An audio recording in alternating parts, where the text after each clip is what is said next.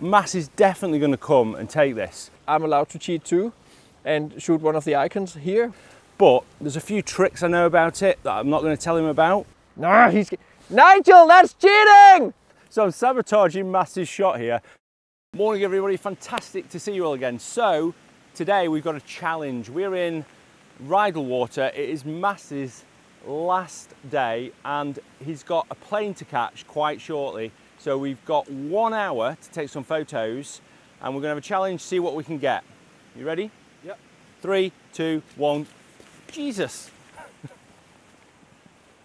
okay, the advantage I've got is I know the area and Mads doesn't.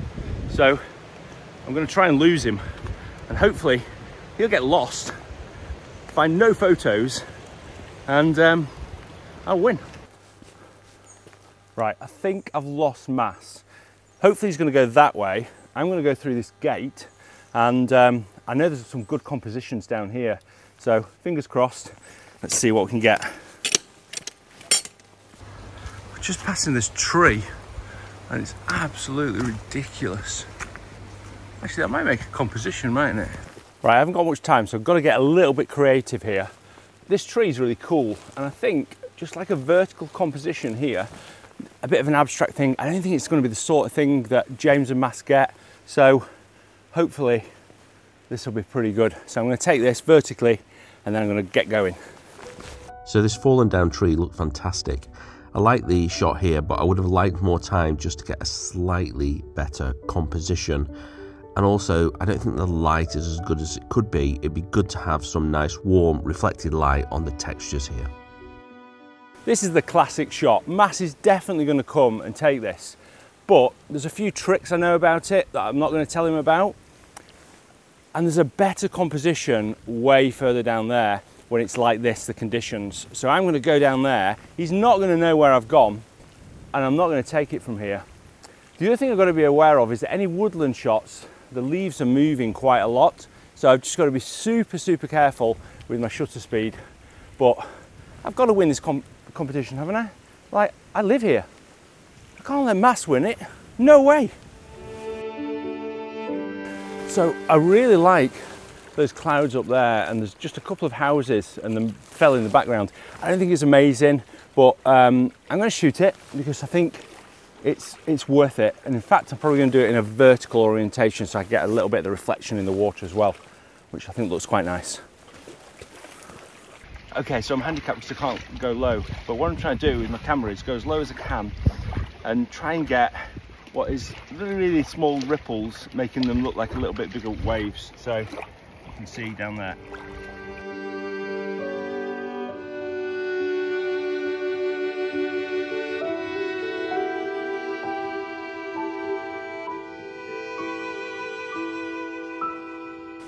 Okay, we could do with a bit of light on the on the fells, but I've just shot this scene here. It's a bit obvious.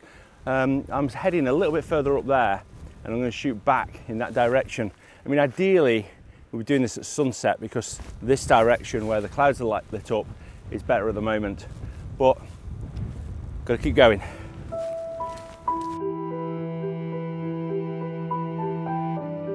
Right, I've got to the shot that I want to take, and I have to admit, I'm cheating a little bit here because this is inspired by one of the masterclass members and he posted something on the Facebook group and we have like a challenge every week and people post stuff and, and we select the best one. This was what I thought was the best one. I'll show you his photo, which is way better than mine because he had amazing conditions. Stephen, thank you very much for this.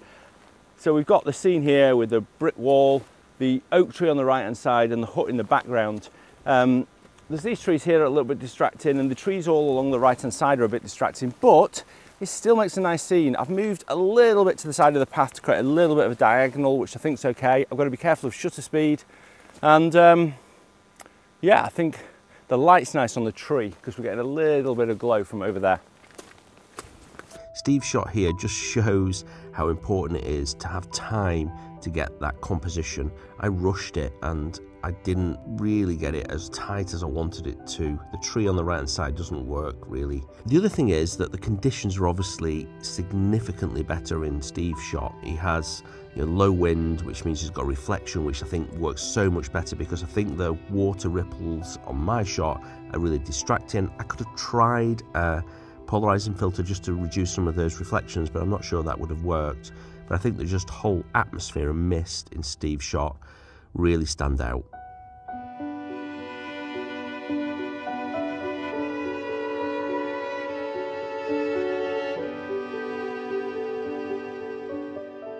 Okay, I've got a secret trick. Drone gets me different locations and I can get some shots. Hopefully, they're a little bit different. I'm sure that Mads has thought exactly the same thing. Um, I can't find him anywhere though, so I don't know where he's gone.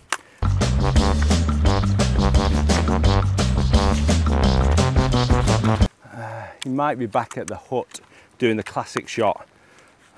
I guess that since Nigel is allowed to cheat because he knows this place, I guess I'm allowed to cheat too and shoot one of the icons here. Have I got anything good yet? Mm, debatable, but it's good fun and it makes you think really difficult. You know, do I want to take lots of shots or try and get one shot really, really good? And I think I've gone for the sort of in between really, which might not be good. Anyway, let's get packing and going and I've got a little bit of a woodland shot here I think I've seen. So I'll take that.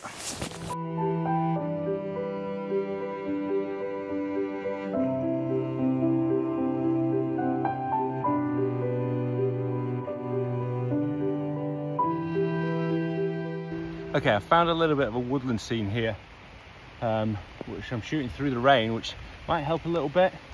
But um, you can see that it's just in there. There's a little bit of a waterfall, and it's throwing it down with rain now.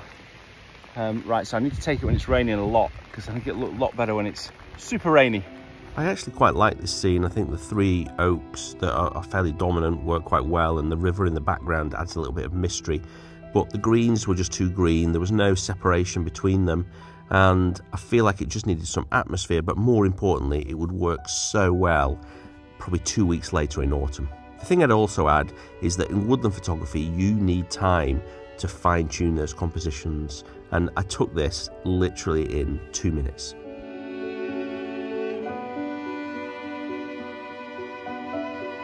Oh no, I'm gonna have to head back the light's getting good now and the clouds, but we've got to go because we've got to catch Mads's plane. Um, I don't think I've got anything good. It's been a bit of a failure, but it's been good fun. oh, oh, there's a good shot there. Oh, that oak tree's nice. What time have I got? How long have I got? Half an hour to get back. Oh, one more shot, one more shot. There's probably a lot of wind noise here because it's a bit windy. Um, I put the microphone the other way around but I've just got my final shot which is this one here um, which I think looks okay I've got that oak tree um, through the rain and I've just gone in really tight to about there and you can see there we go there's a lot of rain so hopefully that should help the atmosphere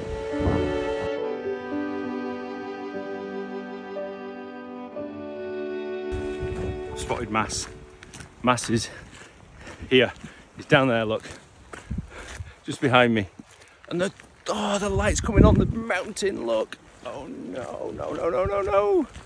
No, he's, Nigel, that's cheating! My rainbow! So I'm sabotaging Mads's shot here. There's a rainbow there and um, I didn't see it at first. I'm just walking down here and suddenly I saw it. I think Mads has probably got a better shot already. Ah! He's next to me. I literally just talked to the camera and I'm like... How's it going? Haven't, Nigel haven't seen the rainbow. He's coming up here. He haven't seen it. I'm getting it. Have you got anything good yet? Uh, no.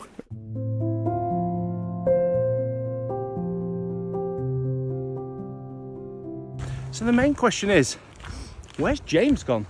I'm Mads and Nigel, I find it hilarious that I'm using a tripod. Ready! I haven't seen him at all. So he's obviously not come to the lake and gone somewhere else. Hmm, interesting.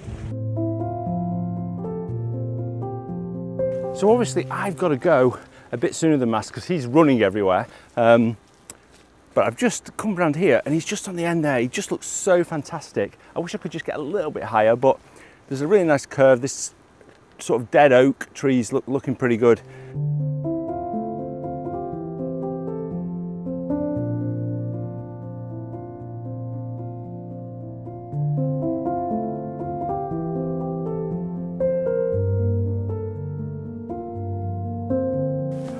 Right, I'm just heading back to the car now. Not far. I've given myself a little bit of time because I knew there'd be some nice shots down this road. And I've just got this really nice sort of winding S-curve through here. I can exclude the sky pretty much as well. It looks so good. When you're taking a shot like this, make sure that your tripod is at the right height because obviously if you reduce or increase your tripod height, that's going to make a big difference. I'm going to get this, go back, see what James has got. So this image has potential, but I think that the branches on the left hand side, and particularly the branch that pokes into the road, is really distracting. I don't know why I didn't see it. I even talked about it by moving the camera up and down to try and remove something like that. But I was in a rush and taking photos as quickly as possible, and I'm quite a methodical photographer. I, I take my time and really think carefully about compositions and I have to admit that I found this challenge so difficult and I don't really think I got anything that was that spectacular. Ah, I can spot him. He's down there. He's coming through. Yeah, here he comes. Oh, this is a good shot. I'm quiet, but I think we just take this sock off, glove off, and put it there. We'll put it back in a minute. But I think this is a good shot. Take it.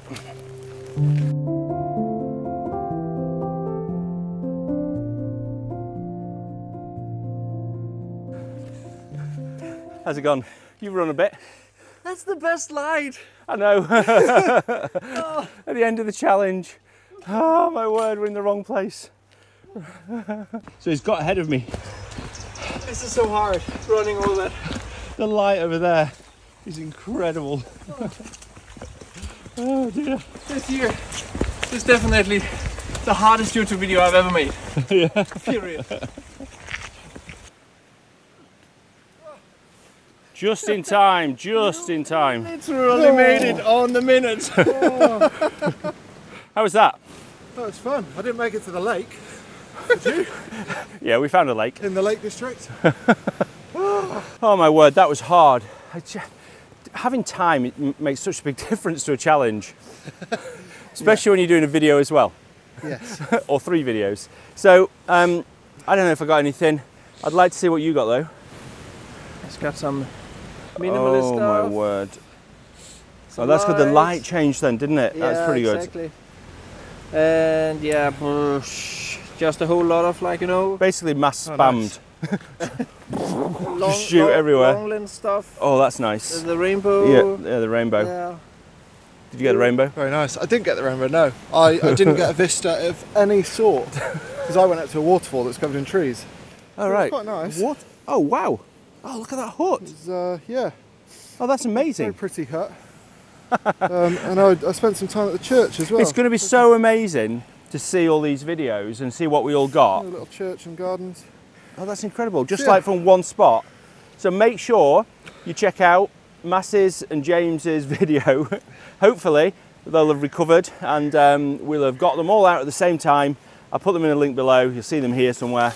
Thanks ever so much for watching. Until next Sunday, bye.